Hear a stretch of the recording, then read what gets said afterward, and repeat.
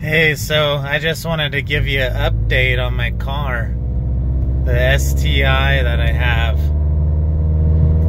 it has 50,000 miles on it now, as you can see, if you could see that. Yeah, crazy, huh? At this power level, it's holding up this long. This is all for the haters out there, always saying, it's gonna blow up, it's gonna blow up you can't do that to those motors. We'll get a good tuner and good parts that'll last. I mean, it's been like this since it was, I'd say, six or 7,000 miles when I first got the car. And look at it now 50,000 miles.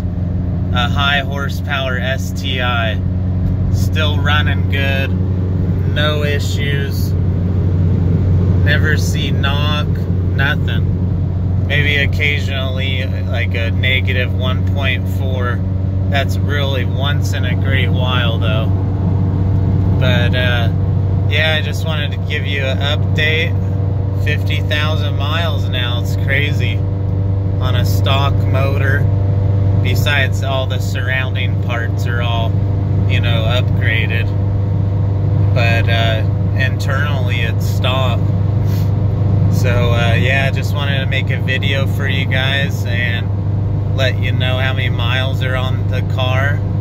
But have a good day. Thanks for watching. Bye.